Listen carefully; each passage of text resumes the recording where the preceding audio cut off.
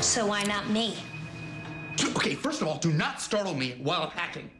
I take packing very seriously. I was just in a zone. Now I'm out of the zone. I just want to know why it isn't me you're taking home for Thanksgiving in the Hamptons. First things first, it's Hester, right? Yes. Okay. Hester. What's going on with the neck brace? My spinal column was collapsing, so I decided to bedazzle my neck brace and put it back on. Honestly, you're the first person to even notice that I'm wearing it again. That's how seamlessly it goes with my designer wardrobe. But you haven't answered my question. As to why I'm inviting Chanel to Radwell Thanksgiving and not you? Okay, let me see if I can explain this to someone who's A, not a psychology major, and B, clearly doesn't get the fact that I've obviously been ignoring you. Okay, here are the top five reasons I'm not inviting you to Thanksgiving. Reason number one last time we porked, I heard a tiny little squeal, like somebody letting air out of a balloon, followed by the smell of death. I feel like you farted. Reason number two you wear a huge flipping neck brace. That means you got bum genes. And those bum genes would pollute the Radwell gene pool.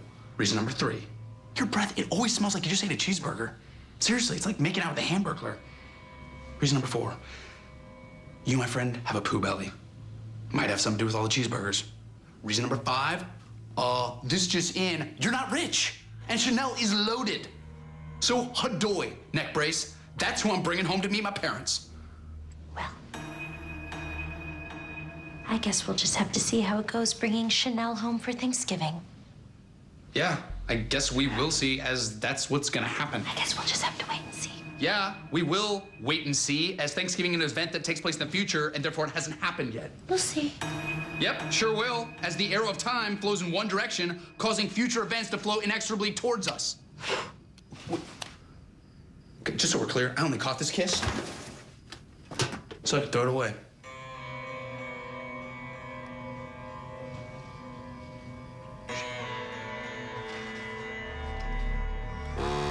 Can't do that.